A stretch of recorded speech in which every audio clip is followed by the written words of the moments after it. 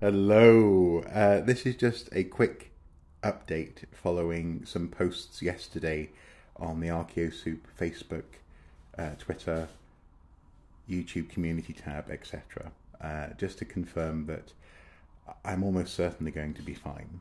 Um, uh, yesterday I uh, scared the bejesus out of Mrs. Soup and also apparently the Resus team here at the Northumbria uh, Specialist Emergency Care Hospital when I presented with um, blood pressure that was negligible.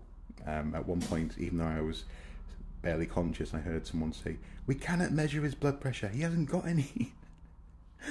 um, basically, I've had an internal bleed. It's a gastrointestinal bleed, um, and uh, uh, it started on Tuesday as suspected food poisoning. It can happen. It can also happen after a, a, a heavy night of drinking, a little bit of, of, of um, uh, digestive uh, irritation.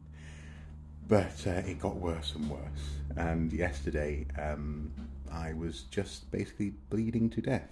Um, uh, it got to a point where it looked and felt as though I'd been drinking bad whiskey. It was just awful.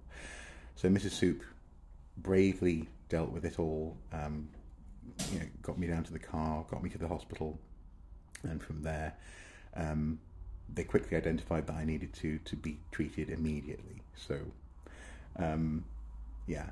Uh, one thing I do clearly remember is uh, asking a lot of questions, being very sort of talkative, um, but also as well uh, the fact that um, uh, with a little bit of saline solution, I was actually very quickly feeling much better. Uh, my eyelids felt much lighter, I felt much clearer.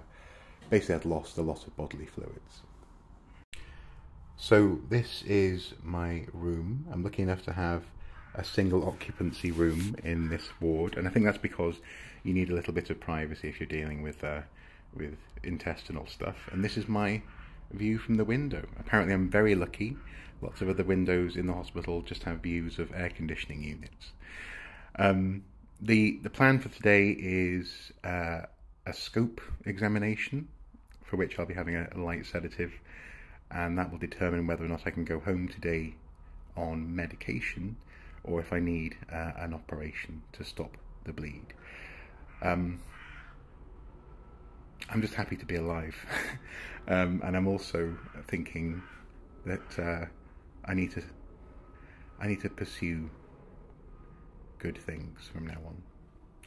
Anyway, guys, take care, and I'll do the same. Cheers.